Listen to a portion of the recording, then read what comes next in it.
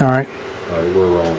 All right. I'm Bill Garvey. I'm with the uh, the Barn ETA Group, and uh, we're going to do talking. Are going to talk about uh, the Internet of Things, a new, newly hot, but actually it's been around for a little while. So we'll talk about a little bit historically, a little bit what's happening with it, uh, and uh, so that's that's what we're about today.